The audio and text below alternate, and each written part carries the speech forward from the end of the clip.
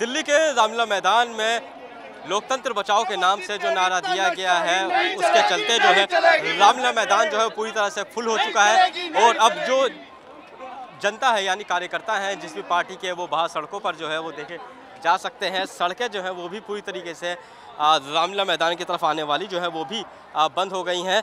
और यहाँ पे जो कुछ लोग हैं, उनसे बातचीत करते हैं। क्यों आए आप यहाँ पे? कहाँ से आए? अरविंद केजरीवाल के लिए आए जी और हम संगम बिहार से आए हुए हैं।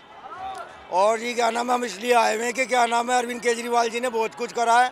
इससे पहले जितनी भी गवर्नमेंट रही है किसी ने कुछ नहीं करा।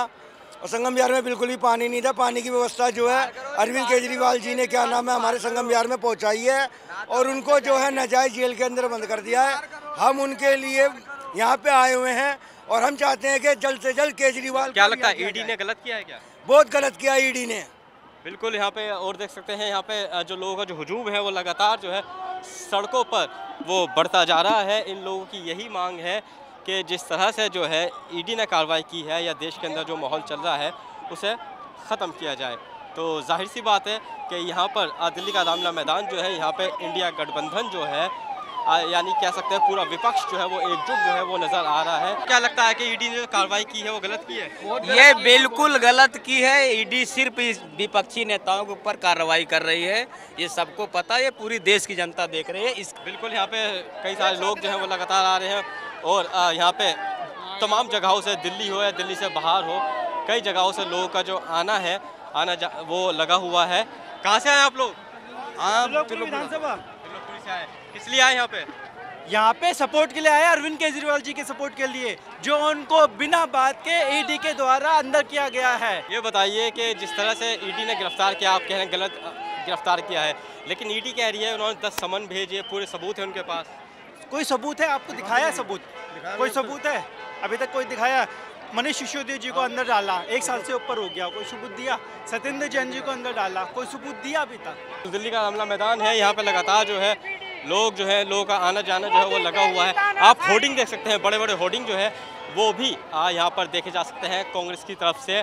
कांग्रेस के अध्यक्ष हैं मल्लिकार्जुन खड़गे, राहुल गांधी हैं और प्रियंका गांधी हैं के सी वेणुगोपाल राय हैं, जिनका जो है जो यहाँ बड़े बड़े जो होर्डिंग हैं बड़े पोस्टर जो है, वो लगे हुए हैं। और भी लोगों से हम बातचीत करते हैं और जानने की कोशिश करते हैं कि वो लोग आखिर आए कहाँ से हैं और किस मकसद को लेकर वो यहाँ पे पहुँचे हुए हैं। तो उनसे बातचीत करते हैं। डाला ना वो तो आज भी पी रहे ना। उन्हें भी तो बंद करो या दारू ही बंद करो। वो आज भी पी रहे आज भी मर रहे औरतों को मार रहे घर से चुरा के पैसे ले जा रहे हैं। तो ये चीज़ें बंद होनी चाहिए ना। जी बिल्कुल उनका कहना है कि शराब घोटाला जो अगर हुआ था तो शराब भी बंद कर देनी चाहिए। यहाँ पे तमाम जगहों से जो है वो आए हुए हैं। ये जो अन्याय किया गया है केजरीवाल जी को जो जेल में डाला गया है ये देश के अंदर जो है लोकतंत्र की हत्या है। और we we are not agree with this way ED के द्वारा जिस तरह से ये षड्यंत्र रच के केजरीवाल जी को अंदर डाला गया है ये गलत है ये गलत है। और सच में लगता है देश के अंदर लोकतंत्र नहीं बचा? लोकतंत्र कहाँ बचा जनाब? आप बताइए रेड्डी से जो है, उसको जेल में डाल देते हैं, उसके बाद उससे अमाउंट दिया जाता है, पाँच करोड़ रुपए उसको बेल दे दी जाती है। जिस पीएमएलए में बेल नहीं है, उसके अंदर बेल कैसे देते हैं? हाईकोर्ट भी अपना देखे हाईकोर्ट का करेक्टर देखे, वो ऐसा आदमी को बेल दे देता है जो बीजेपी का वो पैसा दे दे। वही नवीन जिंदल, जिसको ये कहते थे ईडी रेट डालती थी, उसी को जो है पच्चीस करोड़ रुपए देता है बीजेपी को, उसी को टिकट मिल जाती है। आप देख सकते हो, ये कैसे लोकतंत्र बचा है देश के अंदर? एक्सट्रोशन डिपार्टमेंट जो है, किसी के पीछे लग जाए, उसे चंदा वसूले, वो ईडी के बॉन्ड खरीदे बीजेपी को और पैसे दे उसके बाद उस आदमी को जो है ये पाक साफ़ हो जाए बीजेपी को वासिक डल करके देश के अंदर लोकतंत्र की हत्या हो रही है। तीर धनुष की जो पार्टी के जो कार्यकर्ता है जो नेता है वो भी यहाँ पे आप पहुँच रहे हैं। जे एम एम पार्टी के यहाँ पे लोग हैं इनसे बातचीत करते हैं। आखिर ये क्यों आए? कहाँ से आए हो? दिल्ली से दिल्ली से भाटी मैं संजय करोनी। अच्छा किस लिए आए हो? ये पार्टी के लिए आए हैं गठबंधन। गठबंधन।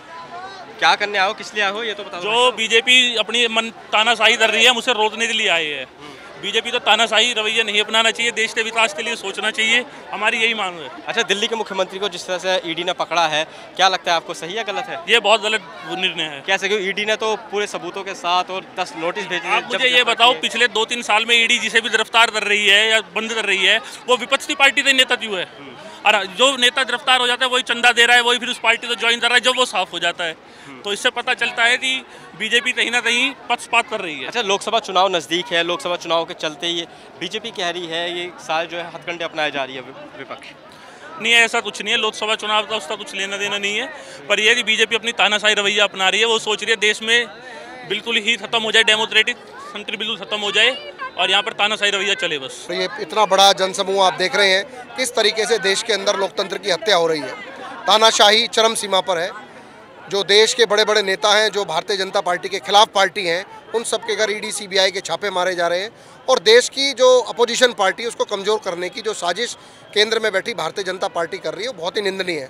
आज लाखों की संख्या में पूरे देश से लोकतंत्र बचाओ, संविधान संविधान बचाओ का नारा लेकर रामलीला मैदान में इंडिया गठबंधन ने जो नारा देकर ये मीटिंग बुलाई है, मैं समझता हूँ ये एक अपने आप में ऐतिहासिक रैली है। देश में इससे बड़ी रैली पहले कभी नहीं हुई है। सर, ये जो है जन सैलाब जो है, ये उनकी ईडी और सीबीआई जो जिसका दुरुपयोग करते हैं और लोकतंत्र की हत्या करते हैं, उसके खिलाफ आप सड़कों पर देख रहे हैं। और सारा देश के लोग हर पार्टी इस समय एकजुट होकर सिर्फ़ एक ही नारा लगा रही है। देश के अंदर दूसरी एक क्रांति आई हुई है जिससे हमें देश को बचाना है संविधान को बचाना है। अच्छा आप बताइए मुझे कि ईडी ने दिल्ली के मुख्यमंत्री को गिरफ़्तार किया। पहले दस नोटिस दिए थे उसके बाद गिरफ़्तार किया। क्या ईडी ने सही क्या गलत किया? भाई साहब बगैर किसी प्रमाण के अगर आप किसी को गिरफ़्तार करेंगे और कोई चार्जशीट वगैरह फ़ाइल ना हो तो ये तो चार्जशीट तो बाद में होती है ना। फिर भी घोटाला साबित करने के लिए कोई तो तथ्य होंगे इनके पास। वो तो उजागर करने चाहिए ना कोर्ट के सामने। तब तो कुछ समझ आएगा कि हाँ भाई सही किया है कि गलत किया इन्होंने। आपको लगता है कि देश के अंदर लोकतंत्र खत्म हो रहा है? बिल्कुल लग रहा है संविधान को ये पूरी तरह से ख़त्म करने के रास्ते पे अग्रसर है। अब जब ये इतनी जनता एक साथ इकट्ठी होकर आ रही है तो मुझे ज़रूर लगता है कि ज़रूर गठबंधन की जीत होगी और जो अन्याय के ऊपर विजय होगी और हमारा कांग्रेस और आम आदमी पार्टी मिलकर एक साथ जो चुनाव लड़ रहे हैं इससे ज़रूर लोगों का भी भला होगा और आने वाले देश का भी भविष्य सुधरने के चांस ज़्यादा हैं। तानाशाही तो जब होती है जब चुनाव ना हो। नहीं चुनाव तो हो रहे हैं चुनाव चुनाव चुनाव तो इसलिए हो ही रहा है चुनाव में क्या है चुनाव तो हर बार होते हैं। और जब एक बार जो कहीं तो किसी को बटन चले वोट किसी को चल जाता है ये है और कुछ नहीं है। जी बिल्कुल जिस तरह से जो आम जनता है या अन्य पार्टी के जो लोग हैं वो सड़कों पर है रामलीला मैदान के अंदर हैं वो इसी बात को लेकर हैं कि देश के अंदर उन्हें ऐसा लगता है कि लोकतंत्र खतरे में है और, और तानाशाही के चलते जो है वो सड़कों पर रामलीला मैदान में सारा विपक्ष जो है वो एकजुट हुआ है। दिल्ली से कैमरामैन अनिल सिंह के साथ वजदली नवोदय टाइम्स।